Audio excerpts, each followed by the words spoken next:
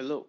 In this video today, we will show how you can automatically tune the gains of a cascaded PID controller that controls the inner voltage and the outer speed loop of a BLDC motor with a trapezoidal back EMF. We'll be working with the plant model of a three-phase BLDC motor with the power link which has been modeled using non-ideal semiconductor devices with Simscape power systems. The main objective in this example would be to come up with effective gains for the cascaded PI control loops which help track the speed demand required from the motor. In the Simulink model, we have the current setup which includes a DC voltage source of 48 volts, a DC-DC buck converter connected to a three-phase power inverter link, and a three-phase BLDC motor. In the subsystem named control here, you can see the cascaded PI control loop architecture. Here, you have an outer loop that controls the speed and an inner loop that will regulate the buck converter output voltage. The final controller output here is the pulse width modulated signal that will be fed to the MOSFET of the buck converter. The parameters of this physical setup can be changed based on requirements. The PI gains were set at initial guesses. Those values do not provide the best performance from the speed controller. When we run the simulation, we can see that the speed demanded from the motor in yellow and the actual motor speed in blue. The reference tracking controller performance is sluggish with a slow rise time, an underdamped response, and a significant overshoot. We will need to tune the PI controller gains to get a better controller performance with a good reference tracking.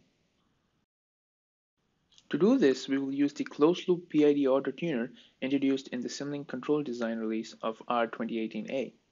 This block lets us tune the PID gains for a controller while the plant continues to be in stable closed-loop operation with the initial controller. Firstly, we would need to modify the controller loop architecture to include this closed-loop PID auto tuner block. Let us start by modifying the outer speed loop.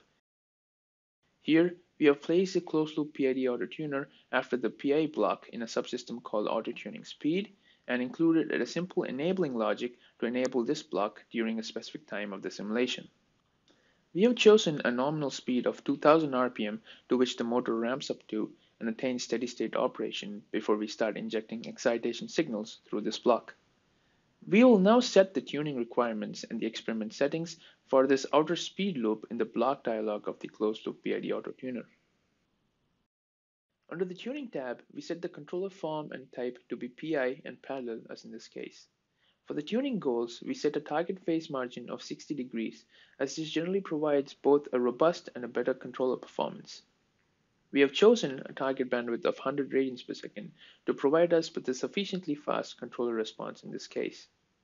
Now, as a rule of thumb, the closed loop experiment should be run for a time of 200 divided by the target bandwidth as a conservative estimate.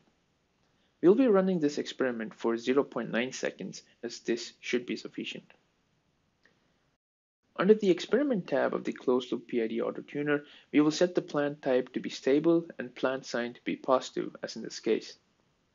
For the amplitude of the sinusoidal perturbations, let's choose a value of 1 so that the plant can be suitably excited within the saturation limit. Similarly, the closed-loop PID Auto Tuner block is set up for the inner voltage loop in the subsystem called Auto Tuning Voltage.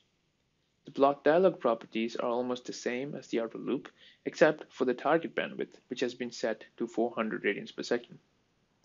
We will be running the closed loop experiment from 1 second to 1.8 seconds with the nominal voltage set at 12.5 volts.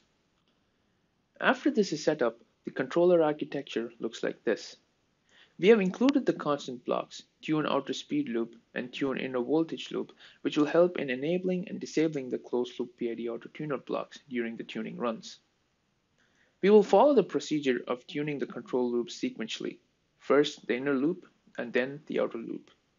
Once both the loops have been tuned, we can then use these gains for the controllers and run the model to verify if we obtain a better controller performance. Let's enable the inner loop tuning by changing the value of the constant block tune inner voltage loop from 0 to 1. As the simulation is run, the closed loop experiment runs in the stipulated time with the closed loop PID tuner injecting perturbations into the plant in addition to the controller request computed by the PI controller.